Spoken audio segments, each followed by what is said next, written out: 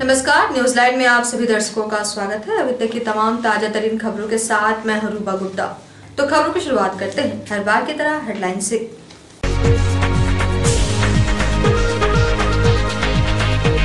Giridih Madhupur road में झलकलिहा के पास truck की चपेट में आने से पाँच वर्षीय बच्ची की मौत। आक्रोशित ग्रामीणों ने किया सड़क जाम। मुआवजे के आश्वासन के बाद हटा जाम। समाज कल्याण द्वारा संचालित योजनाओं को लेकर उपायुक्त ने की समीक्षा बैठक। आपसी समन्वय के साथ सभी पदाधिकारियों को कार्य करने का दिया आदेश। एलआईसी अधिकारियों एवं कर्मचारियों ने किया द्वार प्रदर्शन। एलआईसी में सरकारी हिस्सेदारी बेचने की घोषणा पर जताया विरोध। और झारखंड क्रिकेट संघ का अंडर 19 क्रिकेट टूर्नामेंट प्रारंभ। लातेहार बनाम साहेबगंज के बीच हुआ उद्घाटन मैच।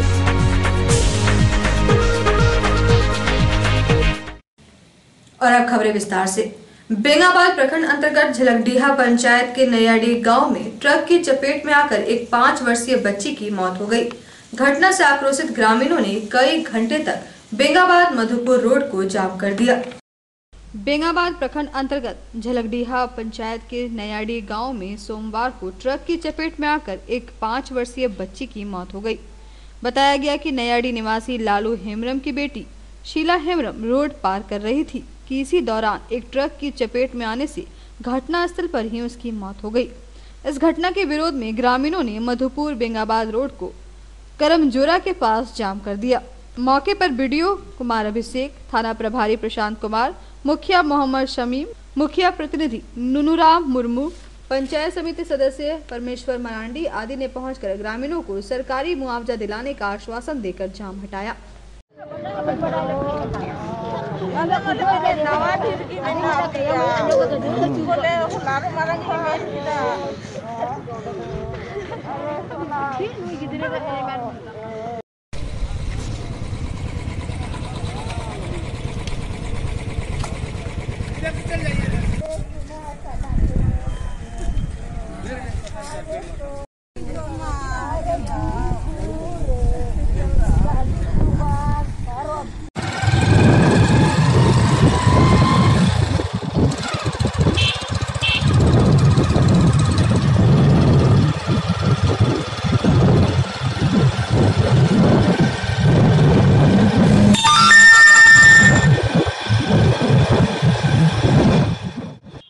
इसमें एक ट्रक है जी। जिसमें सीमेंट लदा हुआ है। जी। उसी ट्रक ने अनेक बच्चे चार साल का बच्ची को मारा है नैयाडी गाँव का। जी। और ये जो है सो आपका वहाँ पूरे ग्रामीणों के द्वारा जी। रोड जाम किया गया था जिसमें सभी प्रशासन एवं बीडीओ साहब और वहाँ स्थानीय मुखिया और हम लोग के द्वारा जाके वहाँ समझा बुझा के परिजनों को और पब्लिक के द्वारा चंदा करके प्रशासन और मुखिया पंचायत समिति सभी के सहयोग से इक्कीस हज़ार रुपया का उनको यानी सहयोग राशि मिला और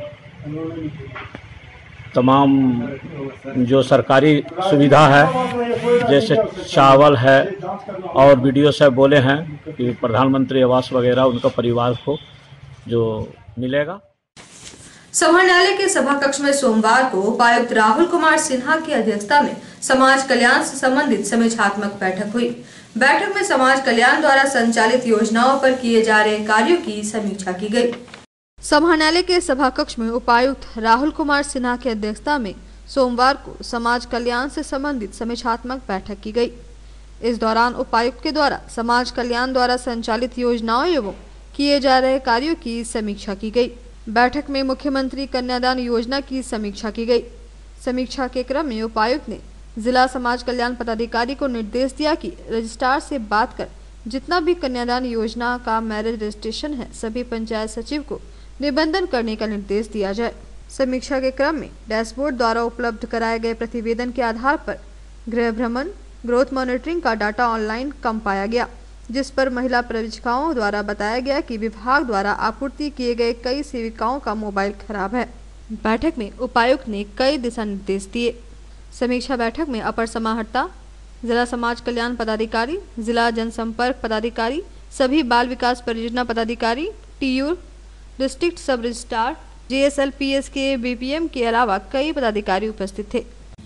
एलआईसी में सरकारी हिस्सेदारी बेचने की घोषणा के विरोध में भारतीय जीवन बीमा निगम के अधिकारियों ने व कर्मचारियों ने द्वार प्रदर्शन किया। इस फैसले के विरोध में कर्मचारियों ने 4 फरवरी को सांकेतिक हड़ताल करने का निर्णय लिया है। केंद्रीय वित्त मंत्री के द्वारा बजट भाषण में एलआईसी में सरकारी हिस्सेदारी बेचने की घोषणा के विरोध में भारतीय जीवन बीमा निगम के अधिकारियों व कर्मचारियों ने सोमवार को द्वार प्रदर्शन किया। इसका नेतृत्व संघ के सचिव धर्म प्रकाश ने किया। मौके पर उन्होंने कहा कि देश की आधारभूत संरचना के विकास में एलआईसी का महत्वपूर्ण योगदान रहा है। ऐसे में एलआईसी का विनिवेश की बात करना देश हित में नहीं है। इस फैसले के विरोध में कर्मचारियों ने 4 फरवरी को सांकेतिक हड़ताल करने का निर्णय लिया है। इस प्रदर्शन में संजय शर्मा, मृत्युंजय सिंह, संत कुमार राय, उमानाथ झा, विजय कुमार, विकास कुमार, रंजीत सिंह दीपक कुमार सिन्हा आदि मुख्य रूप से मौजूद थे। आज भारतीय जीवन बीमा निगम की तीन सबसे बड़ी ट्रेड यूनियन के द्वारा गेट डिमोस्ट्रेशन रखा गया है और ये गेट डिमोस्ट्रेशन सरकार के उस फैसले के विरोध में है। एक फरवरी को देश का वित्त मंत्री जब बजट भाषण दे रही थी तो उसने बजट भाषण में बोली कि एलआईसी को अब शेयर मार्केट में सूचीबद्ध किया जाएगा। इसका मतलब ये है कि एलआईसी को अब बेचा जाएगा। हम लोग इस फैसले के अगेंस्ट में गेट डिमोस्ट्रेशन कर रहे हैं। एलआईसी इस देश की सर्वोत्तम वित्तीय संस्था है, जो इस देश के इंफ्रास्ट्रक्चर डेवलपमेंट में अहम योगदान उन्नीस सौ छप्पन से देते आ रहा है। अभी तक एलआईसी ने इस देश की जितनी भी पंचवर्षीय योजनाएँ इस देश में लागू हुई है, उसके टोटल बजट का 20 प्रतिशत एलआईसी ने दिया है। इतना ही नहीं, अभी हाल में जब रेलवे की स्थिति खराब हुई थी तो एलआईसी ने बिना शर्त एक लाख पचास हज़ार करोड़ का निवेश किया है। इस देश की आईडीबीआई बैंक जब डूब रही थी तो एलआईसी ने उसमें निवेश करके उस बैंक को बचाया है और इस देश की जनता का पैसा को भी बचाया है। एलआईसी में अभी बीमा धारकों की संख्या 32 करोड़ है। यानी एलआईसी में 32 करोड़ लोगों का पैसा लगा हुआ है। इस सरकार का हक नहीं बनता है कि वो 32 करोड़ लोगों का पैसा को कारपोरेट के हाथों में पहुँचा दें। इसलिए हम लोग इस फैसले के विरोध में आज गेट डिमोस्ट्रेशन कर रहे हैं और कल एक घंटे का सांकेतिक हड़ताल करेंगे और सरकार से आग्रह करेंगे, सरकार को बोलेंगे कि जो उन्होंने बजट भाषण में निर्णय लिया है, फैसला लिया है, उसे वापस ले, अन्यथा हम लोग अनिश्चितकालीन हड़ताल पे भी जा सकते हैं। जिला पुलिस बल के 14 पुलिस अधिकारियों की सेवानिवृत्ति पर पुलिस लाइन में एक सम्मान समारोह का आयोजन किया गया। इस समारोह में एसपी सुरेंद्र झा द्वारा सभी को फूल माला पहनाकर सम्मानित किया गया। 31 जनवरी 2020 को गिरिडीह जिला पुलिस बल के 14 पुलिस पदाधिकारियों एवं हवलदारों की सेवानिवृत्ति पर सोमवार को पुलिस लाइन में एक सम्मान समारोह का आयोजन किया गया। इस कार्यक्रम में एसपी सुरेंद्र झा, डीएसपी संतोष मिश्रा एवं विनोद रवानी ने सभी को फूल माला पहनाकर सम्मानित किया।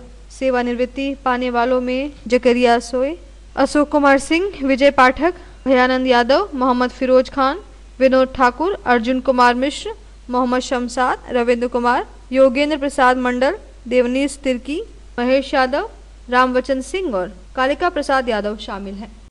कृष्णानगर में स्कूली बच्चों से भरे एक मारुति वैन के फिसल जाने से दो बच्चे घायल हो गए। दोनों जख्मी बच्चों का इलाज सदर अस्पताल में चल रहा है। गिरिडीह पचम्मा रोड में कृष्णानगर के पास सोमवार को एक बड़ा हादसा टल गया।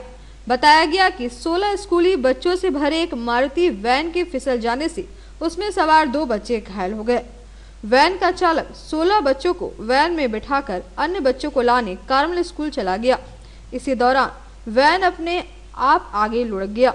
इस घटना में एलकेजी की छात्र राज राजेश्वरी और अहिता अग्रवाल घायल हो गई। अभिभावकों ने सदर अस्पताल में बच्चों का इलाज कराया। इधर मौके से वाहन चालक फरार हो गया। ढलाव में गाड़ी खड़ा था डिस्प्ले कुछ नहीं लगा हुआ था और गाड़ी पलट गया। कहाँ पे पलटा? कृष्णा नगर में। कौन सी स्कूल में पढ़ते आप? कितने बच्चे लोग घायल हुए? घायल तो ज़्यादा दो हुए बाकी को और चोट लगा हुआ है थोड़ा थोड़ा। ये कार्मेल स्कूल का बच्चा को वैन लाने जाती है। तो कार्मेल स्कूल के नज़दीक खड़ा किया था। लगता है गलती से बच्चा लोग हैंड ब्रेक को छुड़ा दिया। उसी में ये दुर्घटना हुई। ड्राइवर का इसमें कोई गलती नहीं है। और सारे बच्चे सुरक्षित। सारे बच्चे सुरक्षित हैं। कार्मेल स्कूल के प्रशासन के द्वारा कार्मेल स्कूल भी एक्टिव हो गई और सारे बच्चे सुरक्षित हैं मोहल्ला वासी लोग काफ़ी एथी किए क्योंकि वो मोहल्ला में ही हम लोग का स्कूल है इसलिए स्कूल से लगा और बच्चे तो भगवान तुल्य होते हैं। बता रहे ड्राइवर भाग गया नहीं ड्राइवर बेचारा डर के मारे भाग गया ड्राइवर की वैसी कोई गलती नहीं है। लगता है कोई बच्चा से ही हैंड ब्रेक छूट गया होगा इसी कारण ये दुर्घटना। सरस्वती पूजा के समापन पर बेंगाबाद प्रखंड के कई गाँवों में भंडारा एवं भक्ति जागरण का आयोजन किया गया। भंडारा एवं भक्ति जागरण में सैकड़ों लोग मौजूद रहे। सरस्वती पूजा के समापन पर बेंगाबाद के सोनबाद एवं मोतीलेदा गाँव में भंडारा व भक्ति जागरण का आयोजन किया गया। इसके तहत नवयुवक संघ समिति द्वारा सोनबाद में भंडारा का आयोजन किया गया। यहाँ सैकड़ों लोगों ने आकर भंडारे का प्रसाद ग्रहण किया।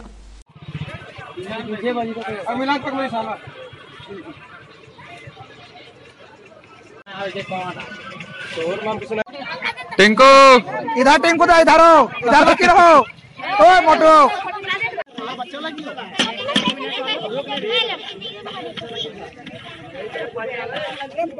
इधर फाइट क्लब दिगंबर पहाड़ मोतीलेदा में भक्ति जागरण का आयोजन किया गया जिसका उद्घाटन जगन्नाथ मंडल एवं समाज सेवी राजेश राय ने फीता काट कर किया। मौके पर बंगाल के कलाकारों ने एक से बढ़कर एक प्रस्तुति दी। कार्यक्रम के आयोजन में रवि मंडल, छोटू राय, मनीष मंडल, प्रेम माही, राजेंद्र कुमार आदि ने सराहनीय योगदान किया।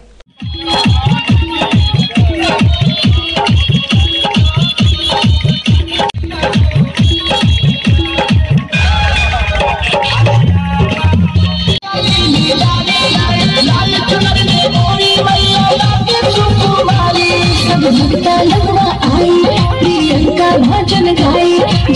गाई मन मांगे मैया से लेके जाई।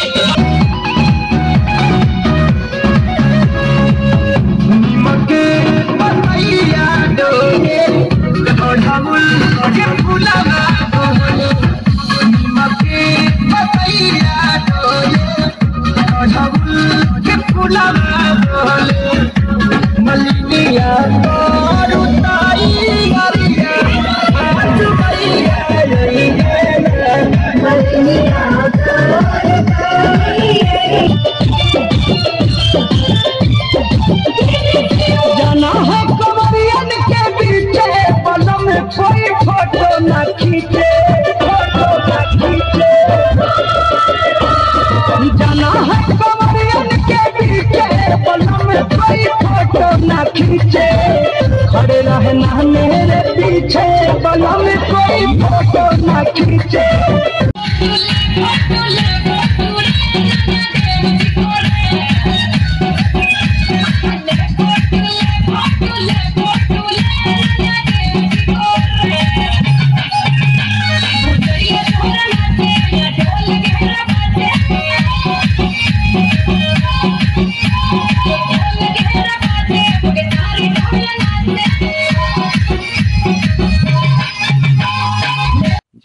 मोतीलदा के दिगंबर पहाड़ अंतर्गत ये आता है और यहाँ पर फाइट क्लब द्वारा आज जो रंगारंग कार्यक्रम यहाँ रखा गया था, माँ सरस्वती विसर्जन के पश्चात, वाकई काबिल तारीफ़ था, बहुत अच्छा लगा और भक्ति गीतों से लोग यहाँ पर सरोवर झूमे रहे पूरी असुरहट्टी गाँव के लोगों को मूलभूत सुविधा भी नहीं मिल रही है।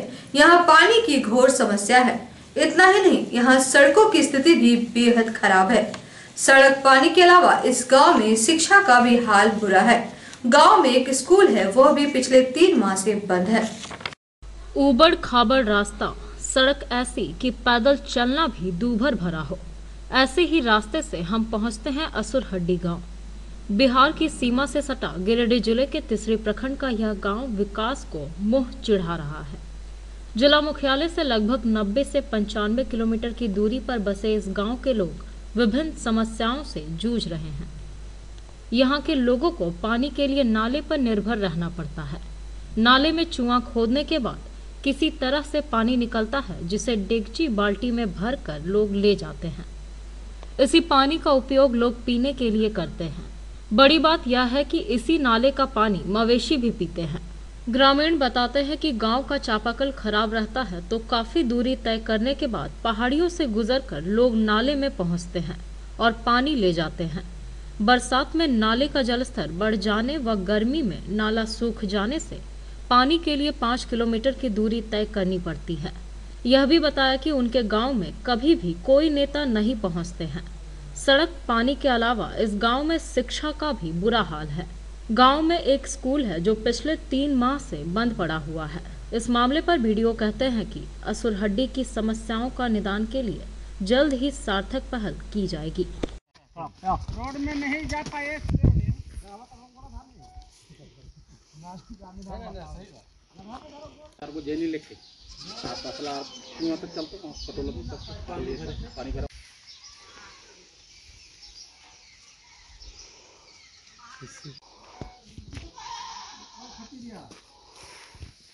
Kecil-kecil. Kecil-kecil orang bambu deh. Ini kecil. Kecil lu.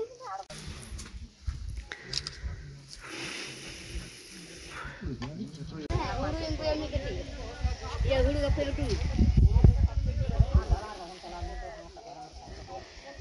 Ini tak. Orang salah, orang yang tidak. Ini orang coba.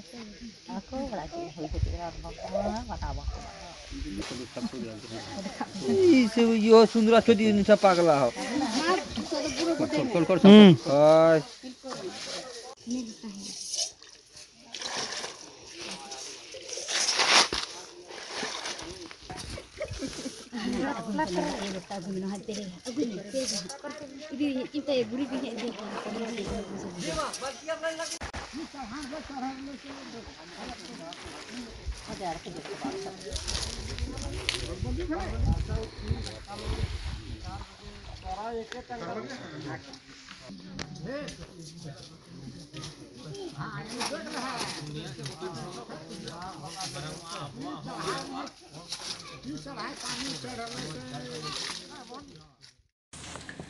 Jharkhand cricket association द्वारा अंडर 19 क्रिकेट टूर्नामेंट का आयोजन किया गया। टूर्नामेंट गिरिडीह स्टेडियम और गिरिडीह कॉलेज में किया जा रहा है। यह टूर्नामेंट 7 फरवरी तक चलेगा। झारखंड क्रिकेट एसोसिएशन के द्वारा अंडर 19 क्रिकेट टूर्नामेंट का आयोजन गिरिडीह स्टेडियम व गिरिडीह कॉलेज मैदान में किया जा रहा है। इस टूर्नामेंट की शुरुआत खिलाड़ियों से हाथ मिलाकर आए हुए अतिथियों के द्वारा की गई। इस टूर्नामेंट में कुल पाँच जिलों की टीम हिस्सा ले रहे हैं। लीग मैच सात फरवरी तक खेला जाएगा। उसके बाद नौ तारीख से क्वार्टर फाइनल मैच खेला जाएगा। टॉस जीतकर पहले बल्लेबाजी करते हुए साहिबगंज ने निर्धारित 50 ओवर में 214 रन बनाए। जवाबी पारी खेलते हुए लातेहार की टीम 34 ओवर में ही लक्ष्य को हासिल कर लिए। मौके पर क्रिकेट एसोसिएशन के सचिव रमेश यादव, सह सचिव संतोष तिवारी, माली नेता सह क्रिकेटर राजेश सिन्हा, मीनू सिंह, विक्रम सिन्हा, बबलू शर्मा सहित कई लोग मौके पर मौजूद थे। Hey!